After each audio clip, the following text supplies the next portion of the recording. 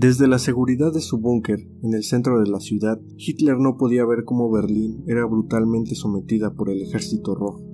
En las calles por las que antes desfilaron orgullosas las tropas del Tercer Reich, ahora se luchaba con desesperación para detener sin éxito el avance de los rusos.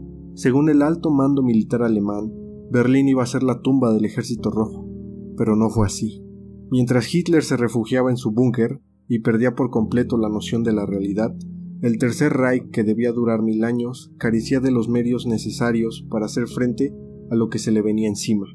El papel que jugaron las tropas soviéticas en la derrota de Alemania durante la Segunda Guerra Mundial fue para los rusos uno de los momentos más memorables de su historia. La operación, que duró poco más de dos semanas, se llevó a cabo cuando ya la capital de Alemania se hallaba reducida a escombros a causa de los bombarderos aliados. Las detonaciones que se escuchaban en la periferia de la ciudad aquel 19 de abril de 1945 sonaban de manera distinta, y tenían razón. Aquel sonido se debía a los obuses de la artillería de campaña y no a las bombas a las que los tenía acostumbrados la aviación aliada. Eso solo podía significar una cosa.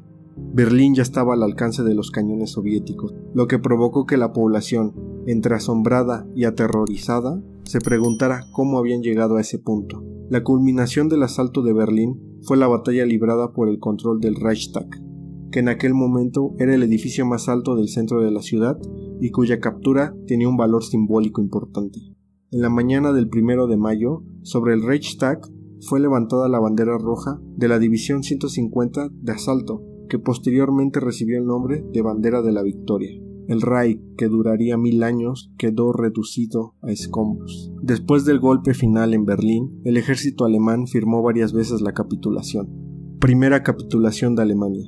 La primera gran capitulación de una gran formación del ejército alemán fue el 4 de mayo de 1945. El mariscal de campo británico Bernard Montgomery recibió la capitulación parcial del almirante general Hans-Georg von Frindenburg. La intención de von Frindenburg era posibilitar al mayor número de alemanes, tanto a soldados como civiles, la huida hacia Occidente. Se dio entonces la absurda situación de que un comandante suplicó prácticamente al enemigo que lo tomara prisionero, para de esta forma escapar del otro enemigo. Al llegar al cuartel general del mariscal de campo Bernard Montgomery, se le informó que una rendición incondicional a todas las fuerzas aliadas era necesaria y no negociable.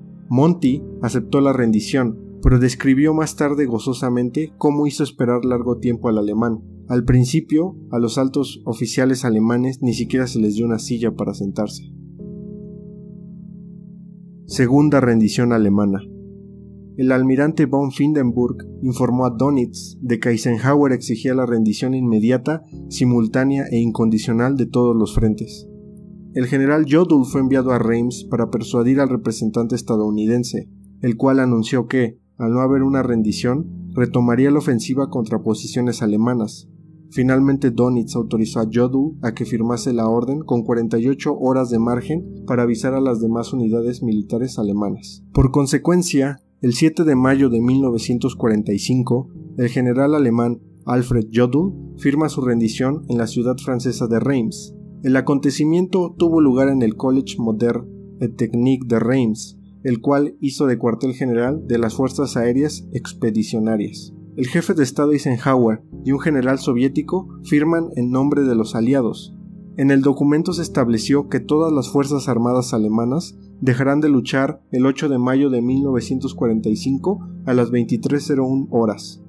Al término de la firma, Jodl pidió permiso para hablar, el permiso fue concedido, y el oficial se puso de pie, firme, pero con la mirada baja y la voz temblorosa dijo El ejército alemán se entrega a los aliados. Espero que los vencedores nos traten con generosidad. Tercera rendición alemana. Stalin montó en cólera porque el fin oficial de la guerra había tenido lugar bajo la dirección de los norteamericanos. Entre otras cosas, debido a las grandes pérdidas que habían sufrido la URSS, insistió en que debía realizarse una nueva y definitiva capitulación, aunque no fuera más que una puesta en escena. Y esta tendría lugar donde todo había comenzado, en Berlín. El comandante de Berlín, Helmut Whitling, había capitulado ya el 2 de mayo. Por los aliados occidentales firmaron el general estadounidense Karl Spatz, el mariscal de aire británico William Tedder y el general francés Jean de Latre de Taissigny, pero no eran más que comparsas. Los verdaderos protagonistas fueron Wilhelm Keitel y Georgi Sukop. El mariscal general de campo alemán se esforzó por demostrar compostura, pero el mariscal de la URSS no se lo permitió.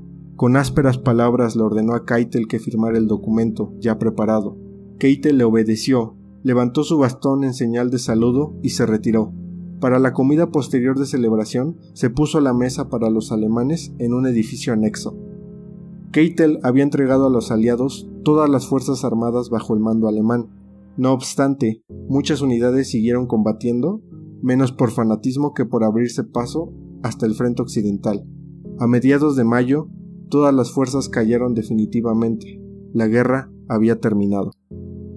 Entonces, concluyendo, la primera gran capitulación de las tropas alemanas fue el 4 de mayo, la primera gran capitulación general el 7 de mayo en Reims, el cese del fuego había sido previsto para el 8 de mayo a las 23.01 horas, pero cuando Keitel firmó ya era miércoles 9, a las 0,16 horas. El reloj del Kremlin mostraba incluso las 2.16 horas.